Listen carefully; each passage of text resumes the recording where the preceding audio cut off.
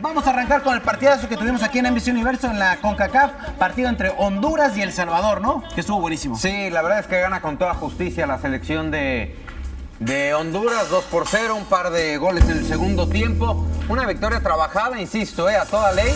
Esto es lo, lo, digamos, el, el punto negro, ¿no? Lo, lo- lo que hizo Pinto. Raro ver ahí al Primi y a, y a profe Pinto empujándose, jaloneándose. Se fue expulsado el profesor Pinto, que tú sabes que es un técnico muy apasionado, ¿no? Sí, por reclamar un penal inexistente, ¿no? Ya hasta el segundo tiempo hace esta maravilla Bonnie García, como la baja con el pecho y luego remata con la pierna izquierda. Muy buena anotación. Claro que sí, entonces ahí Honduras, fíjate cómo se unieron los jugadores, pidiendo apoyo de la tribuna, que se dejó ir con todo al estadio para el apoyo de su selección. Vean la mala marcación, dejan llegar al jugador a, a Rommel Kioto, el portero también se lo medio come, 2 a 0 la H gana con autoridad en su casa Miguel, así que vamos a escuchar las palabras precisamente del autor del segundo gol de la selección hondureña. Adelante Rommel.